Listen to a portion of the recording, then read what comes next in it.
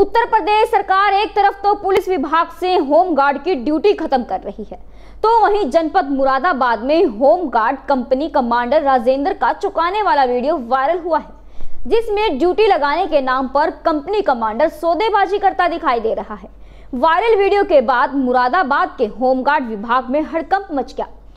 सत्यता जानने के लिए जब वायरल वीडियो में दिखाई दे रहा है कंपनी कमांडर राजेंद्र से बात की तो अपने आप को फंसता देखते हुए और अपना बचाव करते हुए कैमरे के सामने अपने अधिकारी जिला कमांडेंट मनोज सिंह पर आरोप लगा दिया कि जिला कमांडेंट को पैसे जाते हैं। जब इस प्रकरण में मुरादाबाद होमगार्ड जिला कमांडेंट मनोज सिंह से बात की गई तो उनका जवाब चुकाने वाला था। जिला कमांडेंट के अनुसार राजेंद्र के खिलाफ पूर्व से भ्रष्टाचार के कई मामलों में मुरादाबाद और अमरोहा जनपद में जाँच चल रही है और हाईकोर्ट में भी विचाराधीन है।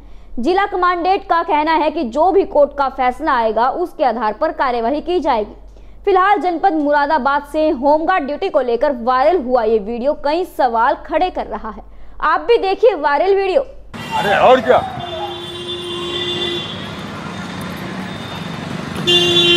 अरे एडीएम सिटी है। तो यो कहेंगे मेरी बात सुनो। हाँ भाई कलवा तो इतने देर आएगा देख लो तेरा पूरा महीना खाली जाएगा चलो चली जाइए आज इन लोगों पिट जाएगा तो ये भी हो जाएगा यो पिटाई मांग गया पूरी भाई चार चार हज़ार रुपए तो कोई ना देने का। बताओ हज़ार रुपए भैया कहाँ से देगा? हूँ ये बताओ दस महीने घर बैठेगा तो कहाँ से देगा पैसे? दे रहे हैं भाई मेरी कंपनी के दे रहे हैं। जो जाकर ड्यूटी सब बदल करा रहे हैं चौदह कंपनी के दे रहे हैं और भी पंद्रह के दे रहे हैं। सत्रह के इंजारा लिखी के दे रहे हैं सोलह के तो भ्रष्टाचार साहब और ज़्यादा ज़्यादा हो जाएगा तो नहीं। अधिकारियों के। वहीं अब होमगार्ड कमांडर राजेंद्र सिंह ने अपना वायरल वीडियो होने के बाद जिला होमगार्ड कमांडेंट मनोज सिंह पर ही होमगार्डों की ड्यूटी लगाने के नाम पर वसूली कराने का आरोप लगा दिया। जिला होमगार्ड कमांडेंट मनोज सिंह से बात की गई तो उसके अनुसार होमगार्ड की ड्यूटी सॉफ्टवेयर के अनुसार लगती है। अब राजेंद्र सिंह किस आधार से कह रहे हैं कि यह तो वही बता सकते हैं। ड्यूटी में डीएम कोटा, एसपी कोटा, सारा बैकअप कंप्यूटर में फ़ीड है। ड्यूटी एनआईसी के द्वारा ही लगाई जाती है। ड्यूटी लगाने में मैनुअल का कोई प्रावधान नहीं है। राजेंद्र सिंह किस आधार पर कह रहे हैं, पूरी बात तो राजेंद्र सिंह ही बता पाएँगे। राजेंद्र सिंह पर पहले भी कई गंभीर आरोप हैं जिनकी जाँच चल रही है। इनकी जाँच जिला कमांडेंट अमरोहा भी कर रहे हैं। इनके द्वारा विभाग के प्रति अपशब्द कहने का भी मामला है। इनको हाई कोर्ट से भी एक नोटिस मिला है। कई बार इनके ऊपर भ्रष्टाचार के आरोप लगे हैं। जैसे ही माननीय न्यायालय के आदेश के बाद ही आगे की कार्यवाही की जाएगी। वीडियो वायरल हो रहा है जिसमें आप साफ़ दिखाई दे रहे हो कि चार हज़ार रुपए पर होमगार्ड से मांग रहे हो। क्या है मामला?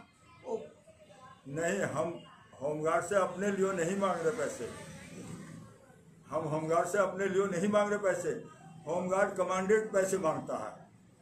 अब वो ये कहेगा कि आपकी ड्यूटियाँ जो कम हो गई हैं तो इसमें वो बोली लगाएगा क्या तेरा आपका रोस्टर नहीं है तेरा आपका रोस्टर नहीं है। उससे कहेगा वो दो हज़ार दे रहा। उससे कहेगा तीन हज़ार दे रहा। तो फिर उस तरह से ये है वजह कौन है होमगार्ड कमांडर होमगार्ड कमांडेंट जो भी है ज़िले भाई जो भी ज़िले भाई कमांडेंट है हर कमांडेंट ज़िले की यही पोजीशन है। हर ज़िले में होता है क्या ये? हर ज़िले में हो रहा है ये। भ्रष्टाचारी बढ़ती जा रही है होमगार्ड कहाँ से अपने घर पैसे देगा?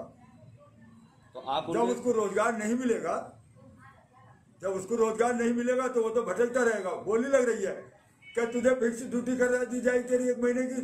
तीन हज़ार दे रहा हो वो तू चार हज़ार दे।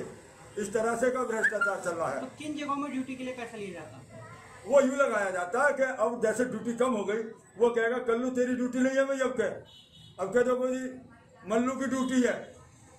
वो हमें तीन हज़ार दे रहा तो कल्लू ये सोचेगा खुद कि यार आपका मेरा महीना खाली जाएगा मैं बेरोजगार रहूँगा घर रहूँगा।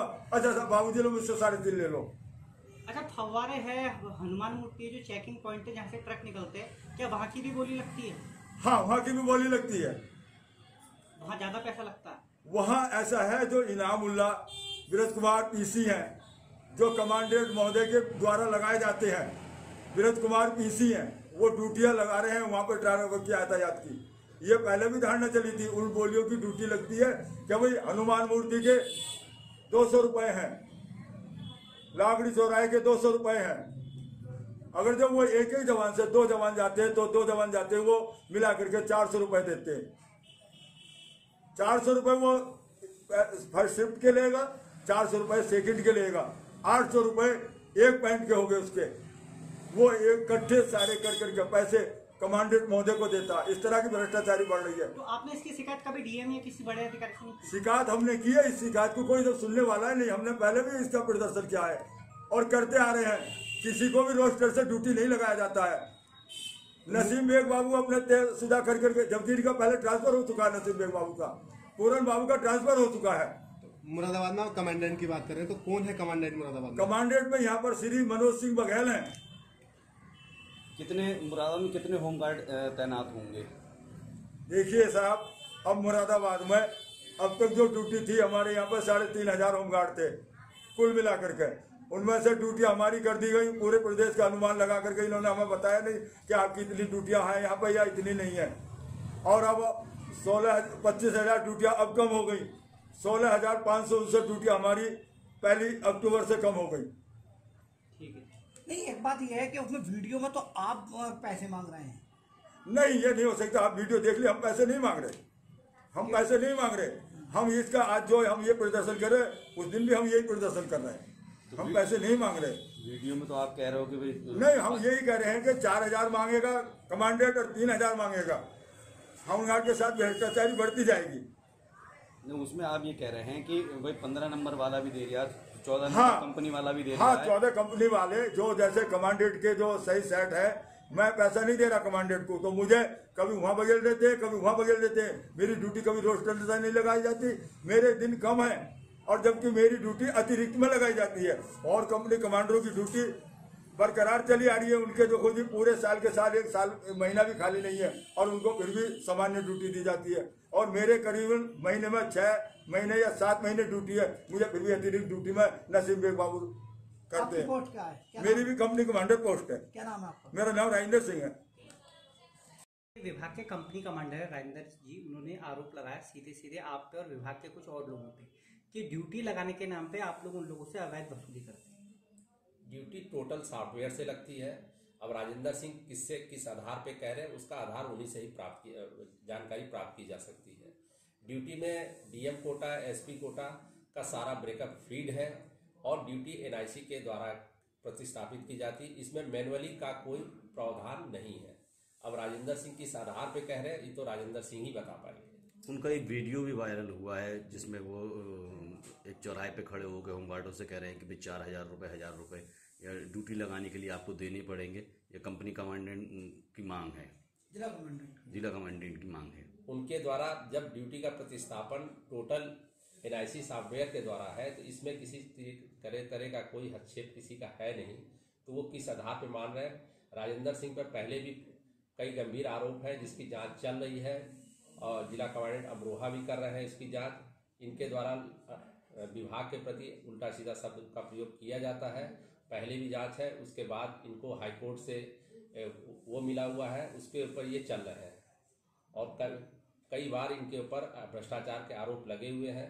अब जैसे भी माननीय न्यायालय निर्णय देगा उसके आधार इनके खिलाफ कार्रवाई की जाएगी। कौन सी कंपनी के हैं राजेंद्र? ये तेरह नगर कंपनी के कंपनी कमांडर है।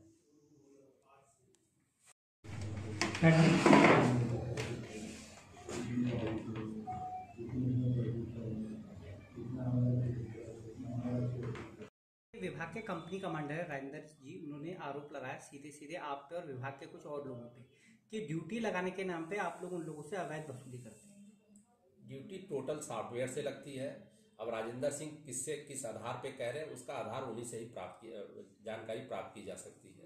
ड्यूटी में डीएम कोटा, एसपी कोटा का सारा ब्रेकअप फ़ीड है और ड्यूटी एनआईसी के द्वारा प्रतिस्थापित की जाती। इसमें मैनुअली का कोई प्रावधान नहीं है। अब राजेंद्र सिंह किस आधार पे कह रहे हैं, ये तो राजेंद्र सिंह ही बता पाएँगे। उनका एक वीडियो भी वायरल हुआ है, जिसमें वो एक चौराहे पे खड़े होकर होमगार्डों से कह रहे हैं कि भाई चार हज़ार रुपये हज़ार रुपये या ड्यूटी लगाने के लिए आपको देने पड़ेंगे। ये कंपनी कमांडेंट की मांग है। जिला कमांडेंट जिला कमांडेंट की मांग है। उनके द्वारा जब ड्यूटी का प्रतिस्थापन टोटल एनआईसी सॉफ्टवेयर के द्वारा है तो इसमें किसी तरह तरह का कोई हस्तक्षेप किसी का है नहीं तो वो किस आधार पर मान रहे हैं?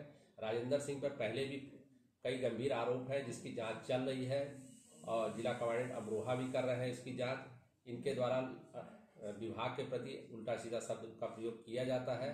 पहले भी जाँच है उसके बाद इनको हाईकोर्ट से वो मिला हुआ है उसके ऊपर ये चल रहे हैं। और कल कई बार इनके ऊपर भ्रष्टाचार के आरोप लगे हुए हैं।